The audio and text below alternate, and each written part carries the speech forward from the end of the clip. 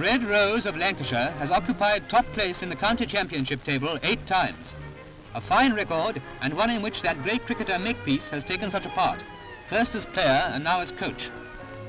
Clean fielding has, has been a feature of Lancashire's play, and no doubt clever devices like this have helped considerably.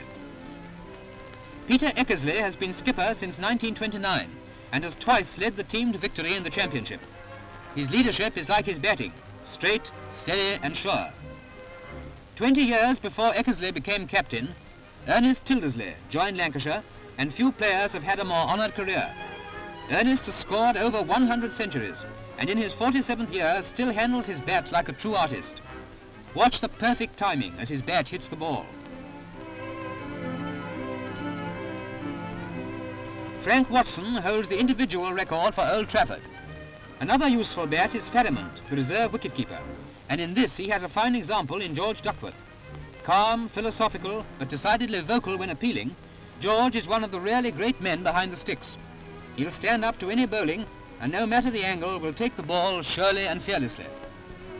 You recognize Parkin? He's now the bowling advisor to the club and is teaching some colts the art he knows so well. A little stouter than of yore, perhaps, but still a great personality. From Parkin to Parkinson, a useful man with both bat and ball. Another fine all-rounder is Hopwood.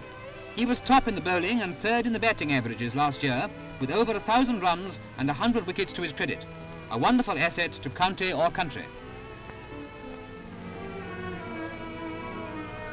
Frank Booth bagged 102 last season. With a fast medium-pace spin, he is now bowling better than ever. Notice the wrist action as the ball leaves his hand.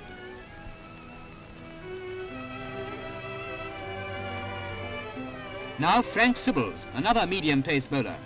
He has completed 10 years with the club, and as he's only 31 years old, he should have at least another 10 to go. A year after Sibbles joined Lancs, Edward Paynter made his debut. We've kept Paynter to the last because of his heroic innings in Australia two years ago. You remember how he came from a sick bed to help his side. In that action, he typified all that is best in Lancashire cricket.